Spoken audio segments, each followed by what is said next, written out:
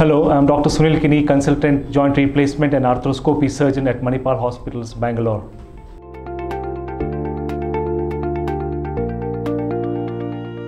Post a total hip replacement surgery, patient is uh, immediately started uh, encouraged to stand up and walk the very next day after surgery using the help of an aid or a walker. Subsequently, the physiotherapy uh, intensity is, is, increased, and by the end of uh, three to five days, most patients are uh, comfortable to walk out of their room into the corridors. The knee and hip strengthening exercises are also started immediately after surgery. Uh, hip strengthening exercise includes strengthening the, the gluteal or the muscles in the, in behind the hip, uh, muscles on the side of the hip, which we call at the hip abductors. The hip and knee range of motion exercises are also started after hip replacement surgery immediately thereafter.